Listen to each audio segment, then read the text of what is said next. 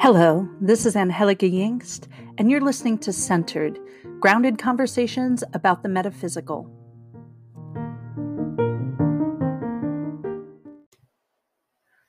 Today's conversation is my second conversation with Kyra Paules. When I envisioned Centered, I really wanted to have ongoing conversations with people in my life, especially piggybacking off our first conversation Kyra is a tarot reader, a social worker, and therapist with training in archetypal analysis from a Jungian perspective. She is a shadow retrieval facilitator, a yoga teacher, and a massage therapist, and she's a practicing witch and druid. So, Kyra and I love talking about tarot and witchery and all kinds of things. We have similar criticisms, and that's always fun. Um, in this episode, and probably quite a few episodes, we're going to be talking about the tarot. We talked about the quote unquote dark cards of the tarot in episode two, and that was totally spontaneous. We didn't intend on talking about that, but ended up kind of venturing into that. And I thought it would be interesting to have a deeper conversation about that because it's one of the more challenging ways to teach tarot is to talk about the dark cards and also help our students be positive and productive with their clients uh, reading tarot. So we just took on the dark and challenging cards of the major arcana of the Rider Waite Smith tarot deck. And I called them the gatekeepers of the shadow. Whether that's an app title, we'll we'll find out. we started with the hangman and went to the tower discussing their imagery and meaning. We laugh a lot in this episode. You can find Kyra online at awintarot.com. I hope you enjoy my conversation with Kyra Paules. Maybe where we should start is like the first challenging card in the major arcana, which is like the hangman. Yeah, I think that's a good place to start. Because it's an in I mean it's funny because I, I mean I find the Hierophant challenging. find yeah. I sometimes find the chariot challenging.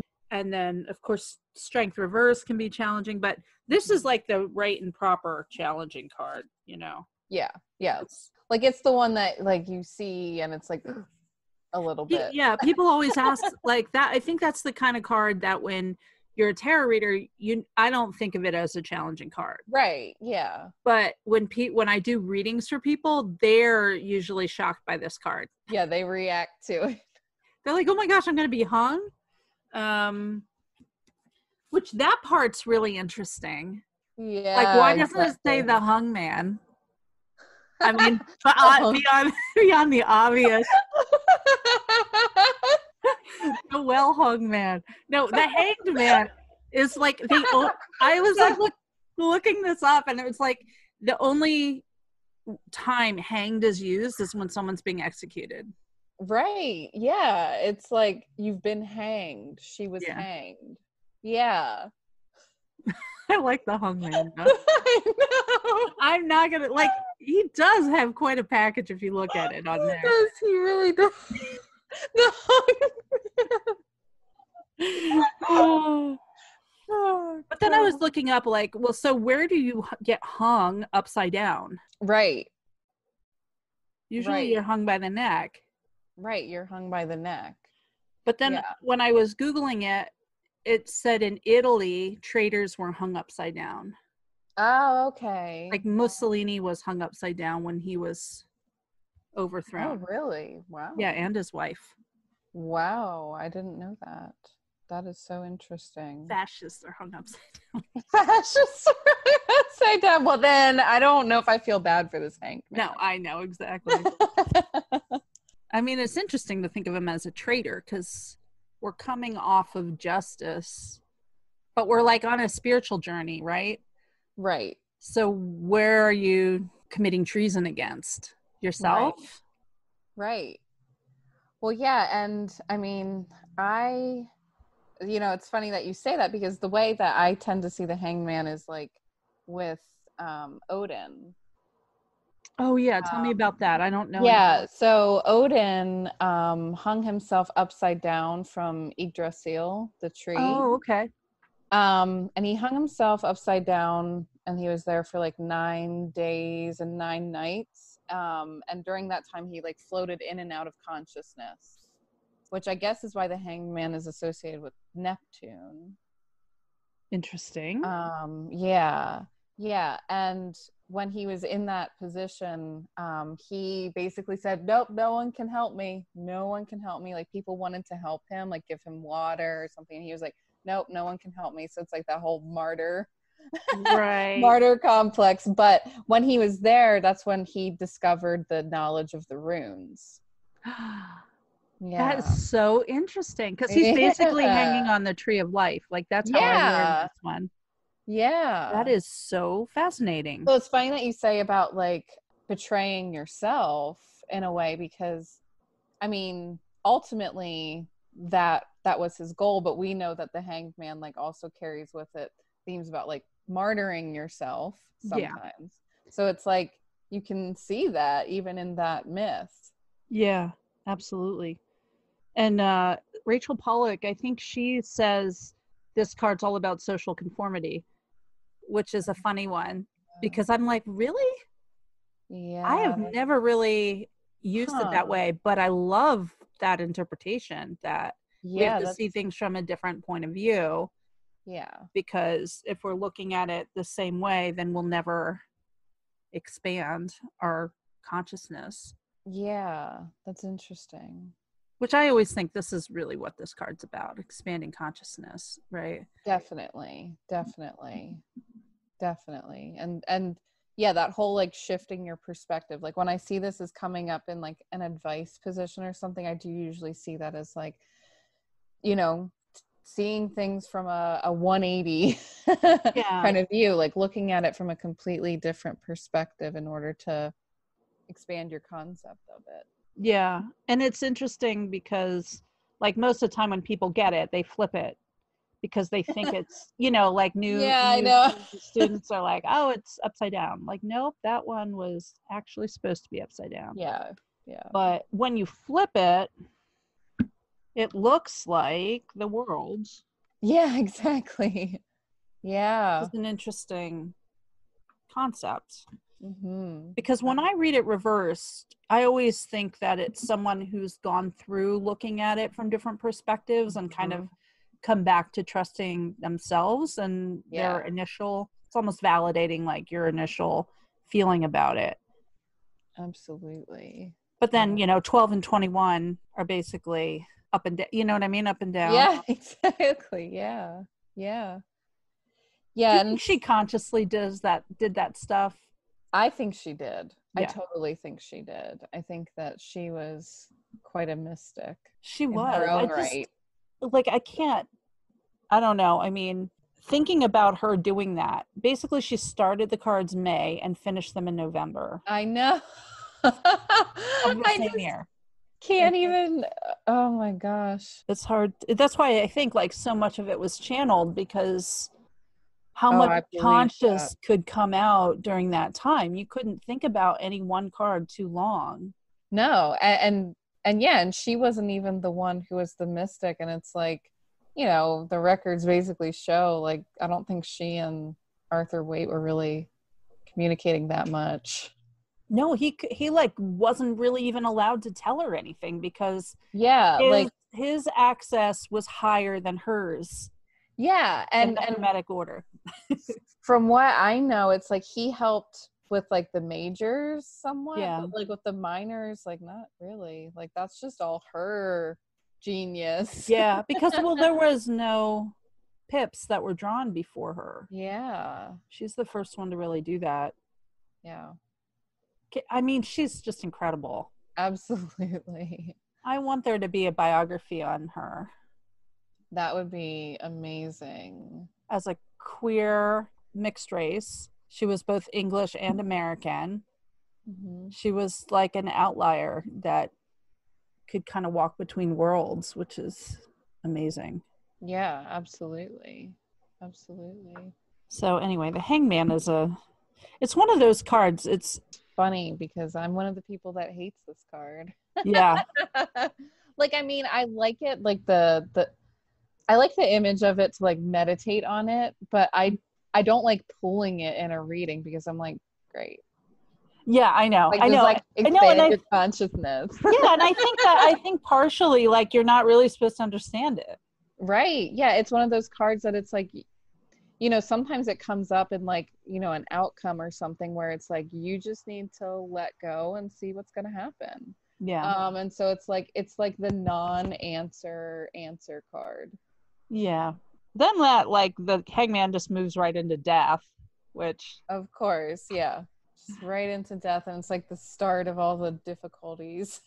yeah. What do you make of that though? I mean, not to keep referencing Rachel Pollack, but she, you know, splits the majors into three groups, Mhm. which is basically the id. Oh, how does she do it? Is it the id, the ego, and the super ego? I can't remember how she does it, but it's like basically the first part, the first seven are you like going through life, just getting your needs met, and then the second is the beginning of the spiritual journey, and then the super, yeah. That Oh, makes sense that she would do it that way. yeah. Yeah. I like it, but I also like when we start getting into these harder cards for Mhm. people, it's hard to explain that kind of stuff. Like, oh, Mhm. this part of your journey is the hard part, but it's also the spiritual part. Right. it's like, like, oh, well, yay. I just lost my job. How is Right. that? That feels more basic to me, you know. Uh, that's what I'm saying. Like my clients will say that, but Yeah. death is i mean death is a card i pulled this month for for my like monthly reading Oh yeah and i kind of quoted us a lot basically talking about how we talked about this in the last time we we talked about how death is really a death and Yes. you have to go through it but it's the moment before and the moment after too that are important and i think that's what people focus on many weeks after the death or many months after the death not Exactly. the actual death part Yeah. Yeah, and yeah, I know that last time we had talked a lot about the death card, so it's like, you know, it is a transformative moment, but it's also like, you know, I think we had talked about how a lot of people use that to kind of bypass yeah also just processing the death. So it's it's a complicated card to explain in that in that way.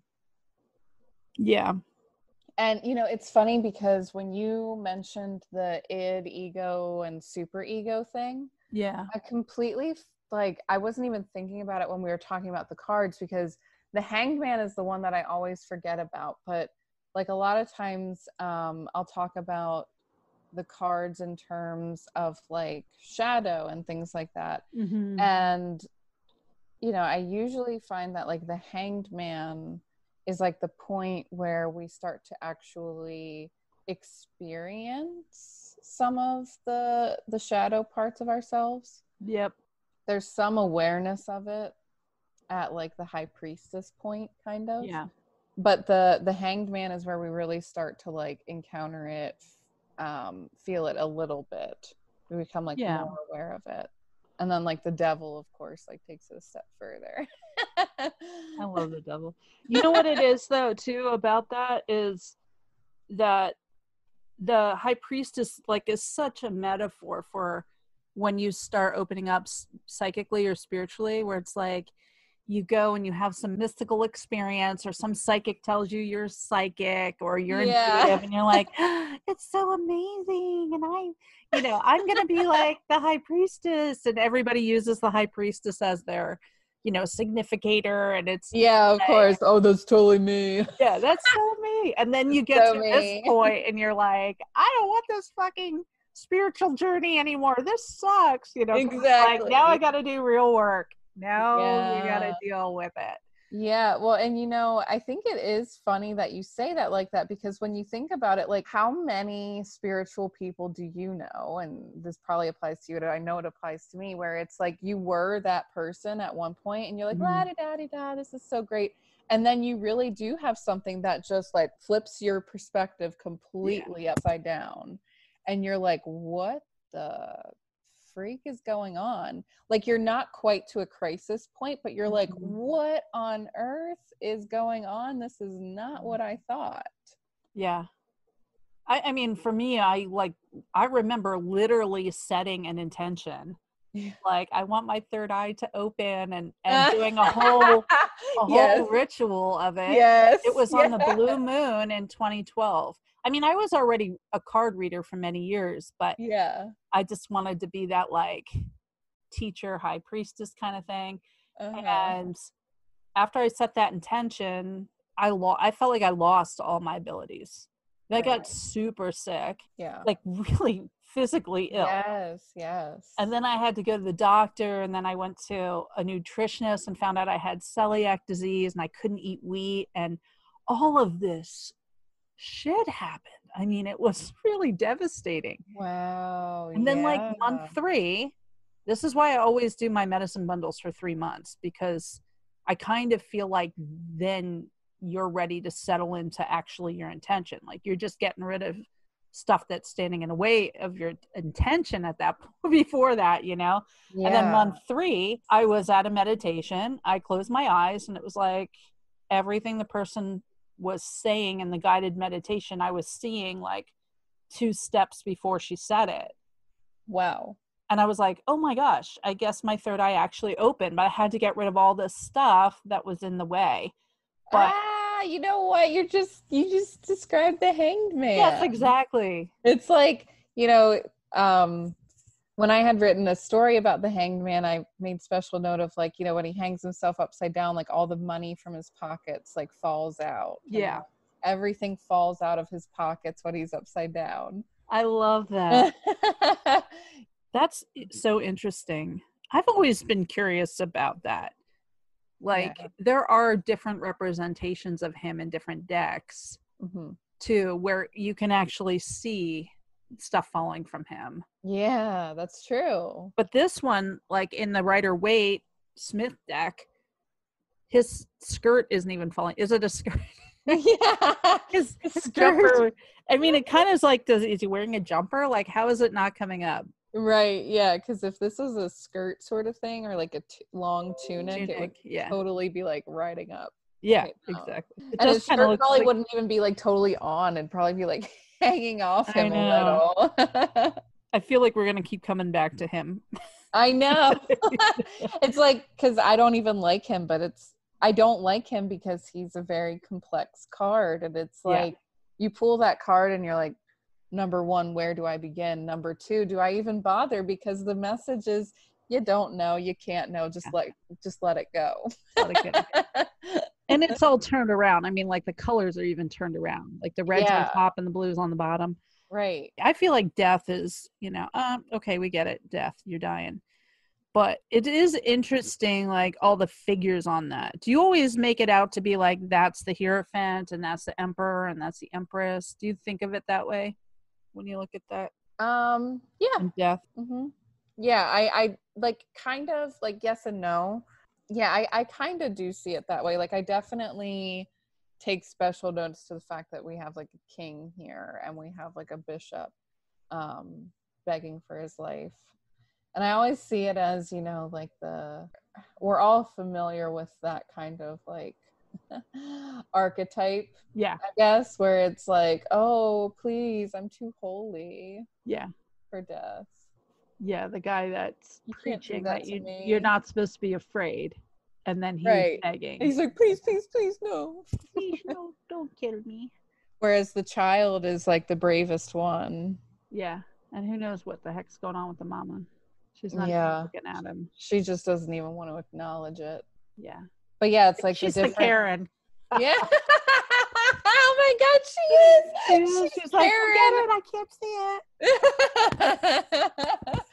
Like, what death? I don't see death. like, You need to get out of here, Death, or I'm going to call the cops. yeah. Do you know who my daddy is? I need to speak with the manager, with your manager, Death.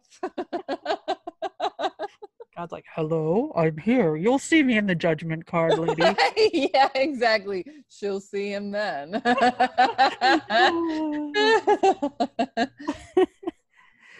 But yeah, it's like I mean, I do see this as like the different reactions to death. Like um one time I had drawn this card and it it was like really kind of pronounced for me in my life where um I was I was teaching like these um prevention education classes around sex ed and um, healthy relationships and stuff like that at an alternative education school so these were kids who had a lot of you know problems at home and whatever and um, the school systems had decided that they needed like disciplinary action.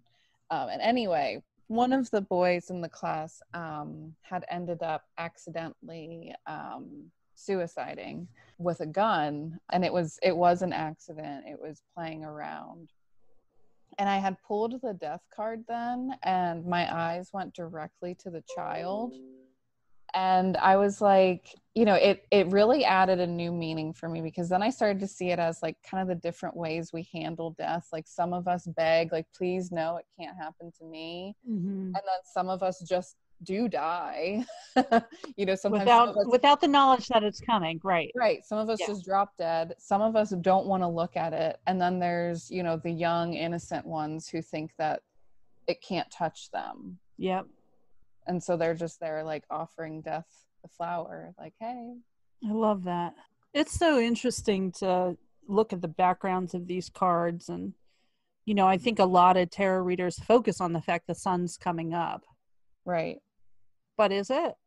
But is it? Right. Or is it going down? Is it going down? Because the ten i'm going to pull out the ten of swords here. Because that's another one where there's like this new dawn happening. Mhm.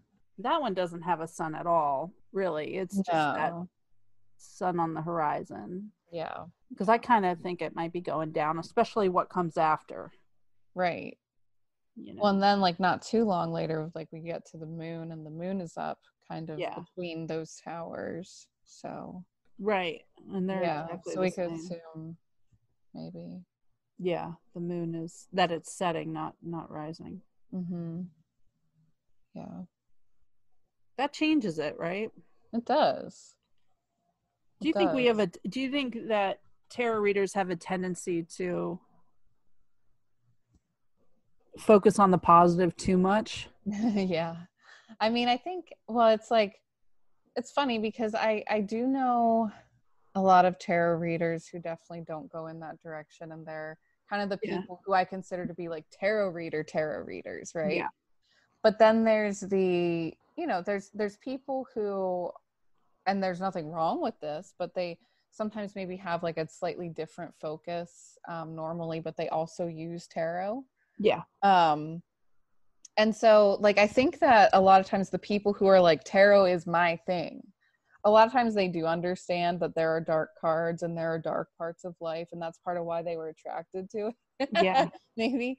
But i do think that you know when tarot i mean tarot was always a thing amongst new agey metaphysical types yeah. but when oracle cards started to become really popular then it was like tarot has to somehow compete with it. And the oracle cards make us all feel so good and tarot doesn't make us feel so good.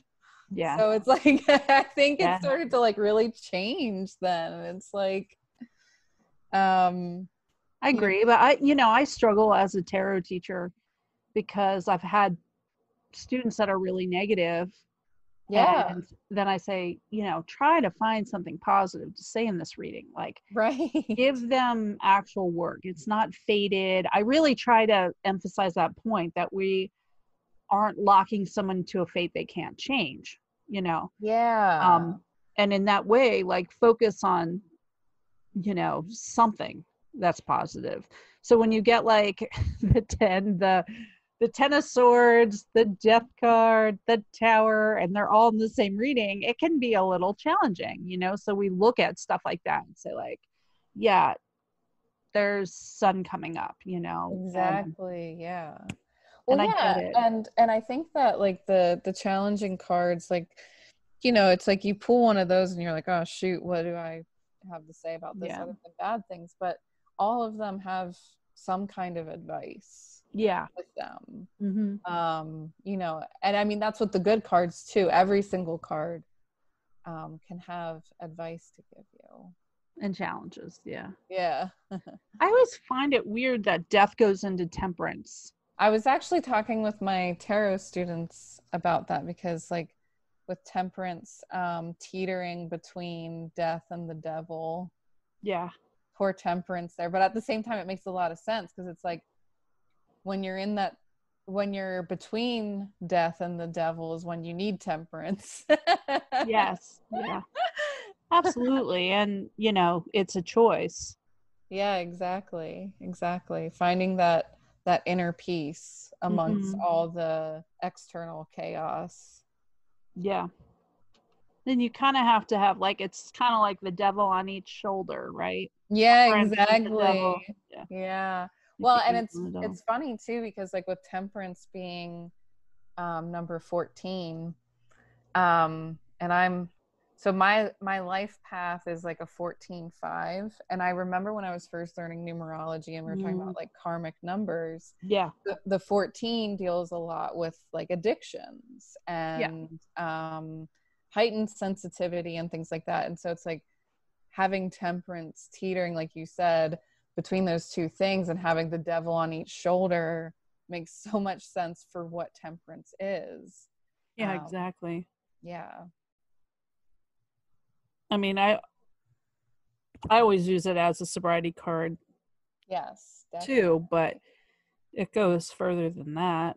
What did it mean in the 19th century? I mean, when when when did the temperance movement start? Was it around that time when prohibition happened in the United States? That must have been like in the 30s, right? Or the 20s? Yeah, it began in the early 1800s, but the legislation, when there were actually like some successes with legislation, Yeah. that was like in the 1910s. So yeah, yeah, and then the decline was in like the 20s um, until the 60s. So yeah, it, this is like around that time when it was kind of like probably at its most controversial peak because it it would have been just about to Yeah. decline.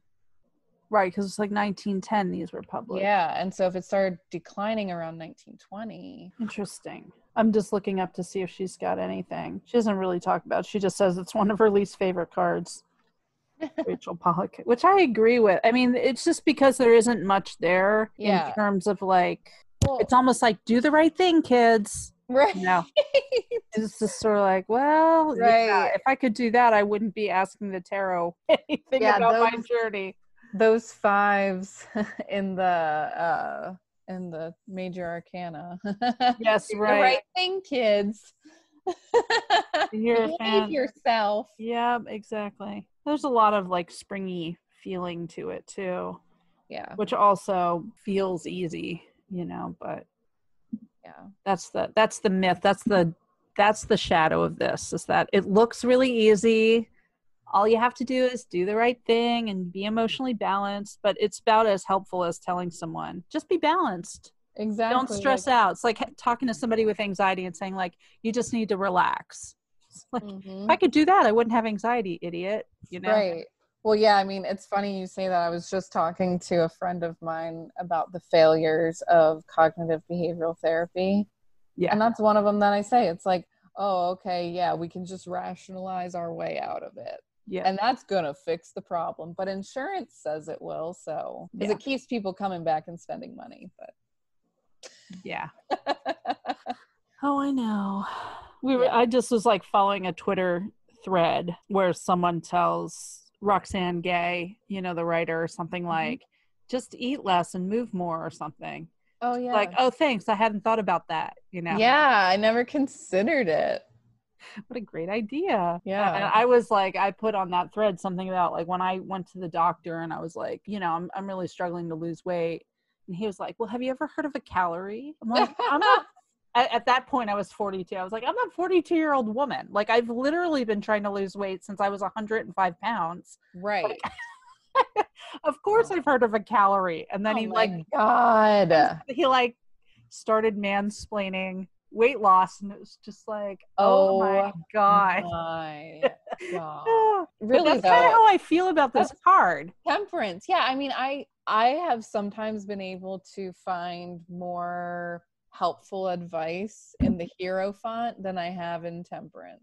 Yeah, yeah, of course. Like, the Hierophant can be like, oh, find a cool group to hang out with, or like seek wise counsel. Whereas Temperance, it's like, don't eat too much, don't drink too much, don't smoke about- too much. It's all about balance right now for you. Like you can smoke your weed, but don't smoke too much. And it's like, the useful part of it is that it's always an indication, like when it's reversed or when I have it around some other cards, like the devil or some of the other cards, that I'm like, okay, this is addiction, you know? right, We're yeah. with addiction and recovery. Yeah it can let you know like hey you know i think that you're you're actually really struggling with an addiction issue yeah, Yeah. which then of course i mean i guess the devil illuminates that further I know. I mean, it's the de- the devil being kind of the next in line. I think it's such an interesting card, especially because all these angel cards are kind of like the angels in front, presiding over Mhm. everything.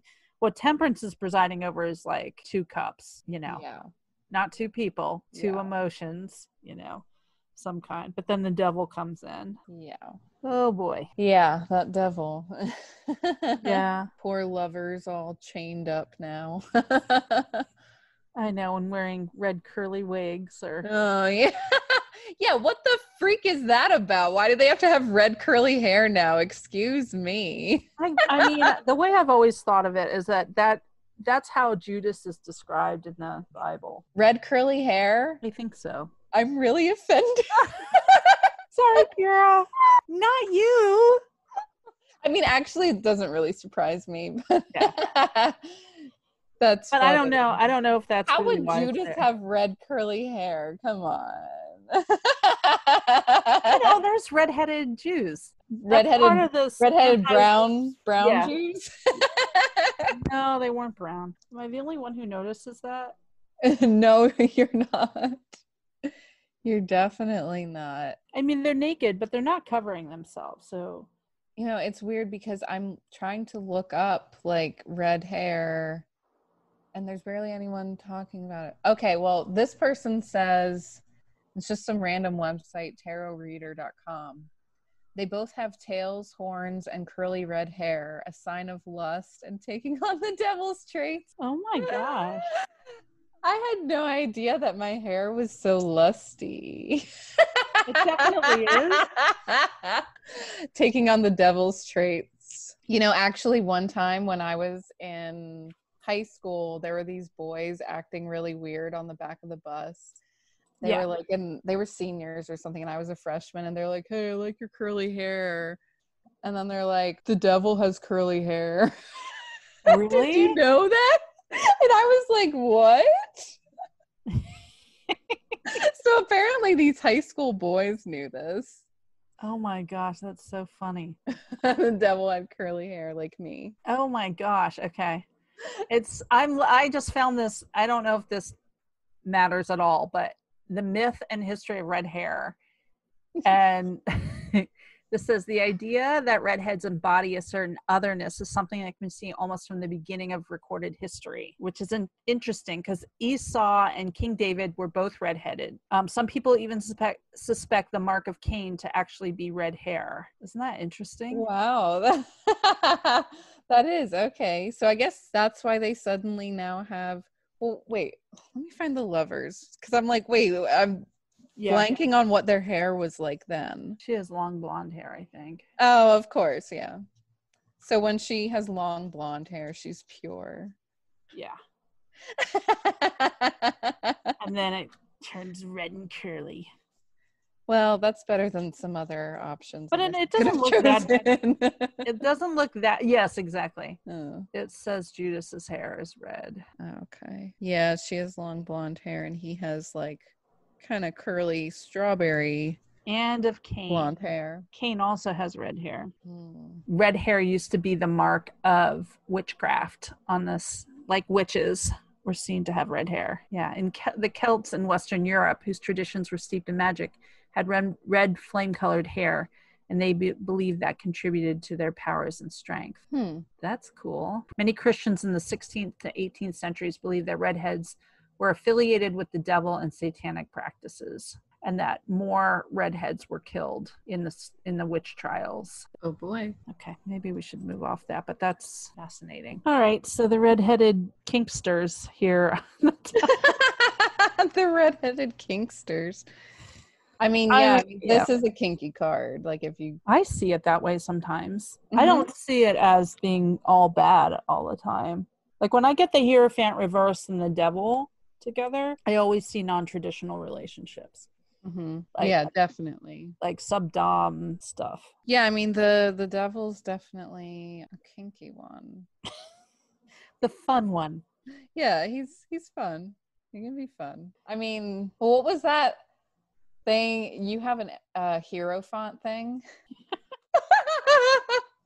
I like a Because I was saying figure. about like the the emperor thing, and then you had like a Hierophant thing. I just I have traditionally been attracted to people in power. yeah, Not people in power right now though. I mean that's some that's some shadow stuff there. Definitely. It definitely is. Yeah. it's a weird it's a weird thing. I mean i've very rarely acted on it you know what i mean? But it's just one of those things like i can't deny that i like cops people in power you know?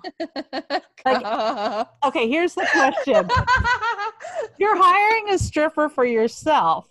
What does he come dressed as? Good question.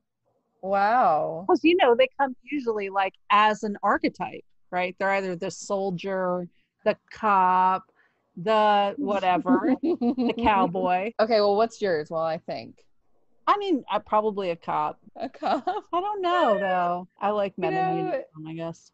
See, like mine, mine is funny because I mean, what what I historically have been into is, and I I shared this in one of my um Jungian classes. Yeah. I said that that my anima Uh-huh. or my animus, sorry, my animus is like Jeff Buckley or Kurt Cobain. like that's like the- so I don't know how I would get a stripper to be that. Like he'd have to like come in and like be really moody and like sing songs and like brood for a while. Possibly have a heroin addiction. Yeah, and like kind of give me the cold shoulder a little bit. Like Oh, I know, right? Rejection. yeah, reject me a little and then and then strip for me. Anyway, the devil. What is the devil? we Why basically does he have chicken about the devil. legs? I don't understand why he has chicken legs. That is really creepy and weird, especially because his upper legs are like hairy, like a like a fawn, but then he has like chicken feet. yeah, like he's supposed to be pan and then he turns into something Chicken else. feet. Maybe it's just because he has to grip. Yeah. Yeah, if they were on. hooving, they were is that how you say it? If they would were hooved, they wouldn't Yeah. he needs to stay up there somehow. or maybe Like- is he is he like a griffin down below? like I was maybe. thinking maybe what he is the griffin? It's the head of a a lion lion. and then the body of like bird Goat? sort of. Oh yeah, the the eagle. Eagle. Yeah, eagle. But he's definitely got a dad bod. I mean, he's like He does. He's he does have a dad bod.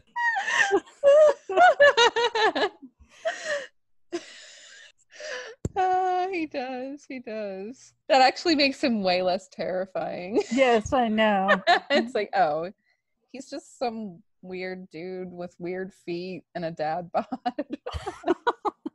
He's like grumpy, like get off my yard, get out of my yeah, yard. exactly. So I mean, that kind of is what the devil is. You think he's this big scary monster, and he's just, you know, Ineffectual. Yeah. ineffectual. That's such a Capricorn thing to say. The worst thing to say, like, you're ineffective. Like you're not really working. yeah. Uh, well, and he's a Capricorn. I know. I don't like that. That. you know, like that. Yeah. But the truth is, the idea of the reverse pentagram. Mhm. This is a pen. I guess pentagram pentagram, yeah. of putting, you know, material stuff above your spirit. That is kind of a shadow of Capricorn. Absolutely. Yeah, it is. Yeah. Um, it's funny because I usually talk a lot of shit on Capricorns. Have I changed your mind at all? Oh, you have. You have. Absolutely. um, but it's it's funny because like my mom is a Pisces sun with a Capricorn moon. Oh, yikes. Blech. And uh, no, I'm just kidding. I mean, she, but um, but no, the the Capricorn thing, like I, I feel like primarily when I was growing up, my experience of her was much more Capricorn um, than Pisces, Yeah. and and that's just kind of the the energy I associate. It's very much about like um, what have you achieved? What have you achieved? And Yeah. and, and it's very driven, but it's also it's it's it's too harsh sometimes. I yeah, I that is the This- Capricorn. But yeah, it's like yeah, Capricorn and, and Saturn, it's like, you know, they can have this amazing, like, uh responsible, grounded, hardworking energy, but then yeah, it can it can be taken to extremes. yeah. I mean, Yeah. I think that's with any of the earth signs, honestly. It's like, I mean, Virgo can go into extreme perfectionism and Taurus Yeah. can go into extreme hedonism and I mean, Capricorns tend to hang out with other Capricorns. Like, there's Yeah. not many people that can tolerate Capricorns, and they do get a bad rap. I remember being in like Sage Goddess's first magical sabbatical, and she always shit talked Capricorns, like constantly. And there were so many of us in her group too, and she would just so like talk about how awful they are, and they're always complaining and blah blah blah. And I was like, if I complain about this, Am I a Capricorn then? am I a Capricorn if I complain about the amount of complaining Is she's this a real complaint or a Capricorn complaint? That's right. and then I, I mean, honestly, like, it is, it, you know, Capricorns are hard. So oh. I don't know how we got off on that. It's because we were talking about the devil, and the devil The can't devil keep us focused. Like, Capricorn, yeah, ugh, yeah. yeah, I don't know. talk about the tower? Yeah. Let's talk about the tower. I've been like consciously working with the tower for so long because I, I had it as a personal year card two years ago. And then I was just like, yeah, bring that shit down. I'm I'm ready for everything. but I And then had you made it happen in the whole world. Thanks a lot. Thank Kali, not me. yeah. well, we needed it. Yeah. The tower is like such an interesting one. When It you is. teach it, do you teach it as an unexpected change? Um, usually, yeah. I usually say it's probably going to be unexpected. It's Yeah. out of the sky. Though, I mean, a lot of times too, though, I also find that it's like it sometimes when I've had those like real situations where it's been like that, it's like on one hand, like consciously was it unexpected? Yes. Subconsciously, not always. Yeah. Like, you know, because it's dealing with like that that foundation that isn't solid, sometimes you are on some level aware of some of the cracks in the foundation, Absolutely. Um, but you Yeah. might not be consciously aware. yeah, it's like complaining about wanting to leave your job for years and then you get fired and you're like, I can't believe they fired me from that job, you know? Yeah, and I, I feel like that's sometimes why with the tower, like when I've had those moments, I almost feel like like my body is not that in shock, Yeah. but my brain is. My brain's like, what the Right. what the but the rest of me is like, yeah, this was par for the course. Yeah. I think that's a really interesting thing to bring up though, because it's so the ego attachment to it is Mhm. the issue, right? Rather than the somatic attachment. Exactly. Yeah. Because sometimes with the devil, like you really do feel that down into your bones. Like you, it, Mhm. it makes you shake from like within. But the tower is kind of like the stuff happening around you. Yeah. Um, But I'm really good in crises usually. yeah, I know, me too. I'm like, maybe it's just that. Maybe I'm not speaking for everyone. I don't know. I mean, because I think a lot of people get afraid when they get this card. Even tarot readers get afraid. oh my gosh, I don't like to pull it. No, because it's hard to tell somebody. oh, you have to Oh. prepare for something that you're not going to be able to prepare for. And I sure as heck don't want to get it for myself because I'm gonna be like, what, what, what's gonna happen? I know, I know, I know exactly. well, I will say in a positive way, kind of that um, this card, like at a a more literal way, I guess. I have seen it to mean uh, talking about explosive orgasms. Ooh, I love that. Just kind of the imagery of the tower. I mean, it totally looks like that. Yeah. Mhm, mhm, mhm. Actually, what is the uh, association with this card? I forget. Is there a planetary? Um, I know it off the top. I, I should know it off the top. Of I.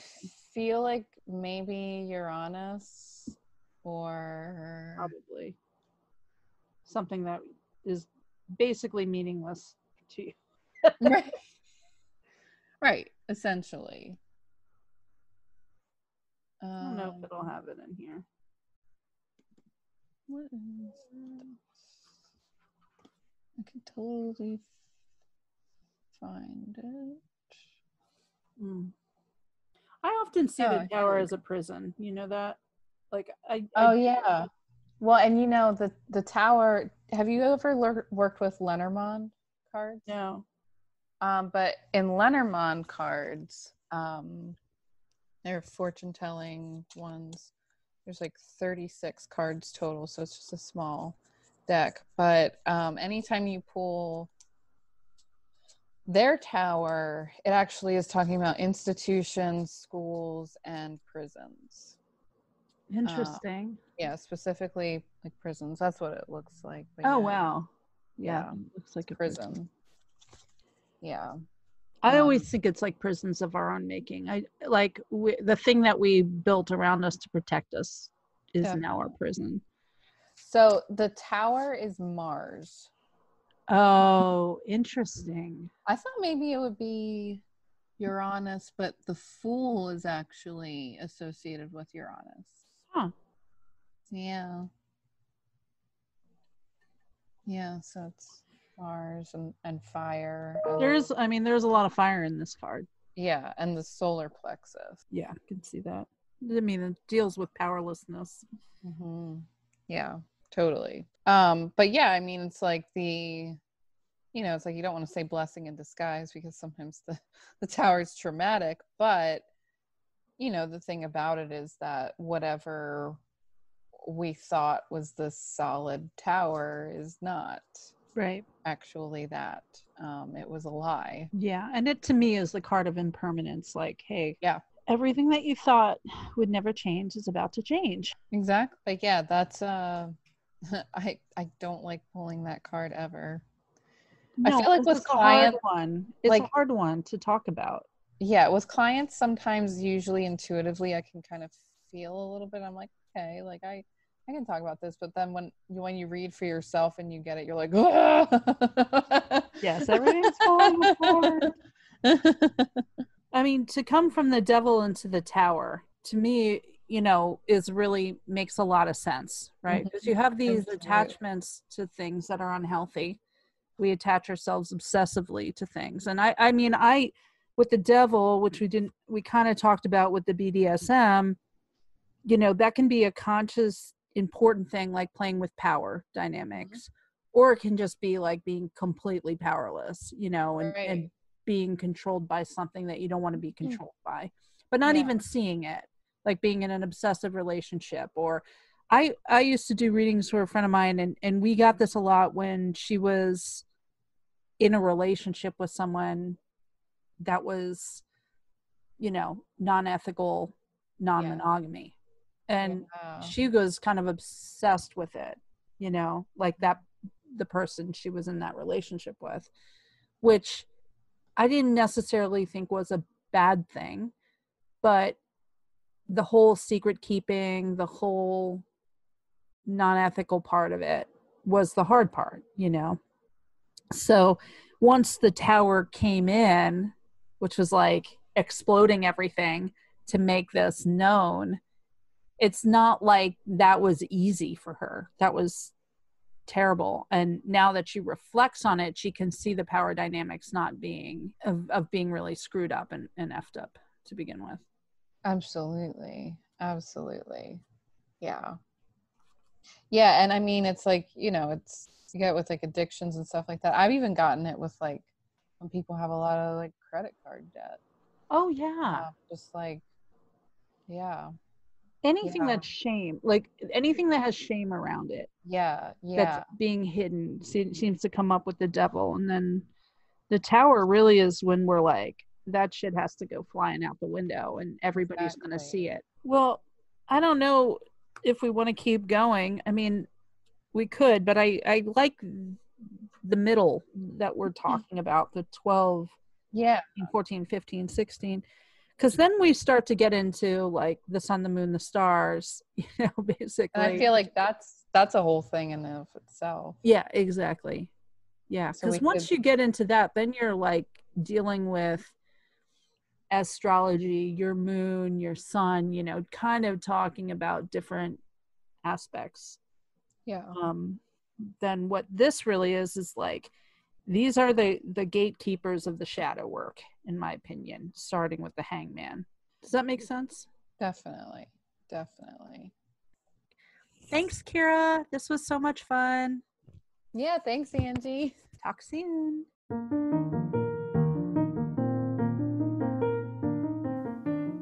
Thanks for listening to Centered with me, Angie Yingst. If you'd like to send me a question or comment about this show or any shows, you can send them to Angie at themoonandstone.com.